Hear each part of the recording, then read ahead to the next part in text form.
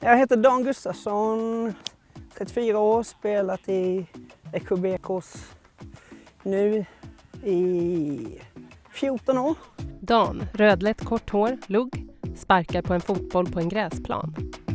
Vi börjar med uppvärmning. Just nu håller vi på mycket med bollkontroll så vi börjar nästan alltid med eh, alla tar varsin boll och springer. Sen kör vi en liten passningsövning. Sen kör vi, kan bli lite, lite kondition.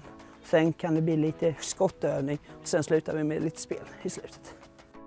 Dan fångar bollen, passar den vidare till en av de andra spelarna. Fotbollen betyder jättemycket för mig. För det är all, man kommer hit och får vara i en gemenskap och en glädje för alla.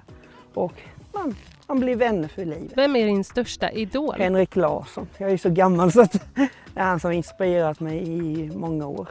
För ni som inte har testat så är fotboll gemenskap, glädje och här på Kul med boll i Växjö så får alla vara med. Det spelar ingen roll vad, om du är dålig, bra eller superbra.